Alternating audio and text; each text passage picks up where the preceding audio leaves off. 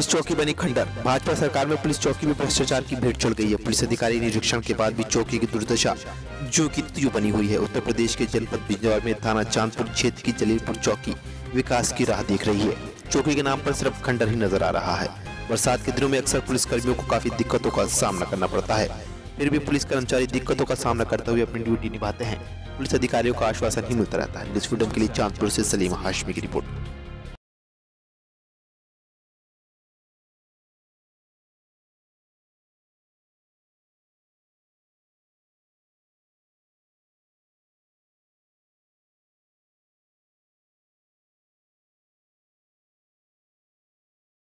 अब आपका news freedom channel कभी भी कहीं भी, देश विदेश में बिजनौर व उत्तर प्रदेश की खबरें पाने के लिए आप हमारे चैनल को सब्सक्राइब कर सकते हैं।